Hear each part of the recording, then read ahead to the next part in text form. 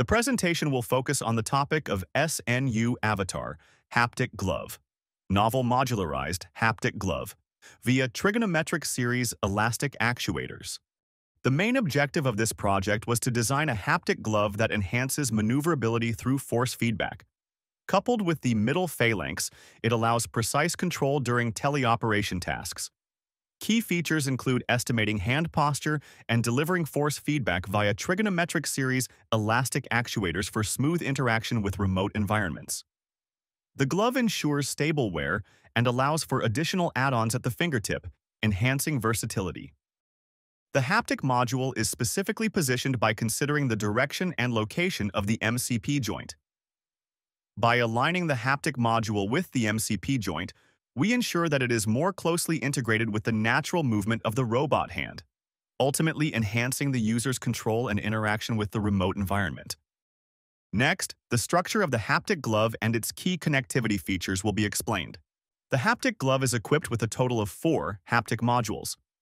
Additionally, the glove plays a crucial role in external connectivity, which includes integrating with both the user's hand and the haptic arm. This allows for smooth interaction between the glove and the robotic system. Lastly, the glove includes an Arduino unit, which is essential for data acquisition and serial communication, ensuring real-time data transfer and control during operations. Each haptic module is designed with a total of four joints. Among these, one joint is specifically dedicated to the AA movement, or abduction-adduction movement, which is essential for controlling the lateral motion of the finger. The remaining three joints are responsible for the FE movement, flexion and extension, allowing the finger to bend and straighten smoothly during operation.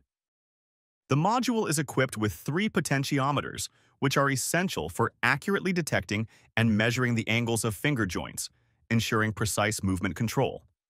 Additionally, one servo motor is installed, providing the necessary actuation to drive the finger movement in coordination with the sensors. Next, the working mechanism of the trigonometric series elastic actuator will be explained. The trigonometric SEA is composed of elastic material and a triangle structure formed by joint 2. As joint 2 moves, the servo motor's angle Q must also adjust accordingly to maintain coordination. When force feedback is required, the motor moves in the opposite direction to compensate and provide the necessary feedback to the user. This interaction between the joint, the elastic material, and the motor allows for a smooth and responsive force feedback system. Now, let's discuss the force feedback performance of the haptic module. Force feedback was measured with an FT sensor, showing a maximum error of 0.0794 newtons, indicating high precision. Using a stronger spring in the module increased the maximum force output, providing more robust feedback.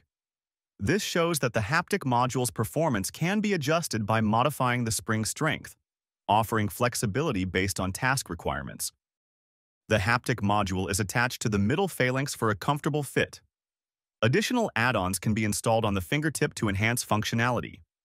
Position estimation algorithms are used, relying on the ratio between finger phalanges and the relationship between the DIP and PIP joints to ensure accurate movement tracking. The results are as follows. The position estimation errors ranged from 11.6 mm to 14.12 mm, indicating a small deviation in accuracy during the module's operation. We evaluated the movements of the haptic glove and robot hand based on Cutkosky's grasping taxonomy. The actual movements of the robot hand and glove are as shown in the video above.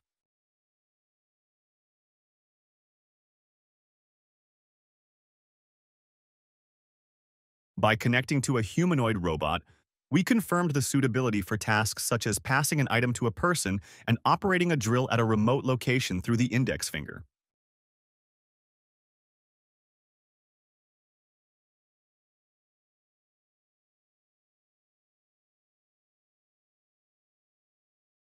In conclusion, this study presents the design, fabrication, and analysis of the SNU Avatar Haptic Glove we used a triangular series elastic actuator, SA, that shares one potentiometer for force feedback, eliminating the need for additional potentiometers.